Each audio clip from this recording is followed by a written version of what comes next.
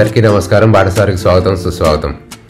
ఈరోజు మనం Giants forest కార్పియన్ అనే ఈ తేలు గురించి తెలుసుకుందాం. ఈ తేలు మనకి రాత్రిపూట బయటకు వెళ్ళినప్పుడు బాగా కనిపిస్తుంది.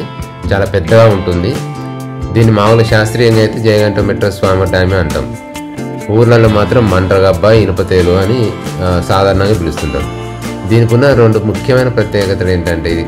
ఇది మన భారతదేశానికి చెందిన తేలు అలాగే ఇది ప్రపంచంలోనే అతిపెద్ద తేరు దాదాపుగా ఒక అడుగు కంటే కొంచెం తక్కువ అంటే దాదాపు తొమ్మిది ఇంచుల వరకు పెరుగుతుంటుంది అనమాట దీనికి చూడడానికి ఆ కొండ్లు పెద్దగా ఉంటాయి విషయం విషం వెనక తేరు మీద కొండి కూడా చాలా పెద్దగా అనిపిస్తుంది.